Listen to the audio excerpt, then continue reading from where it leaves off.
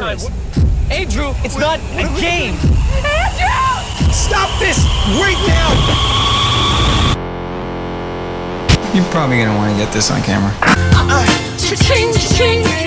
Ubicada dentro de la moda de falsos documentales, esta película tiene partes buenas y partes débiles que lamentablemente en mi caso hizo que mis hijos no quisieran terminar de verla. La verdad, aunque no hubiera tenido que reseñarla, yo la habría terminado. A mí sí me gustó.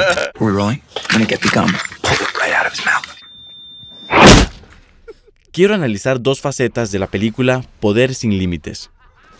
Por una parte está el aspecto de la difícil relación entre el hijo y el padre que todos hemos vivido cuando asumimos el papel de progenitores, olvidando a menudo que fuimos iguales cuando nos tocó experimentar esta etapa de la vida joven.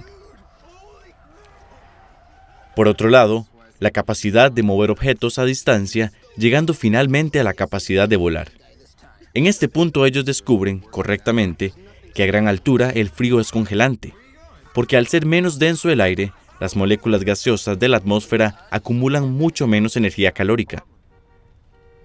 Desde el siglo XIX, Freud pensaba que en algún momento del desarrollo humano, el hijo desea eliminar al padre para tomar su poder, y desde entonces los psicólogos tradicionales sufren tratando de explicar ese fenómeno.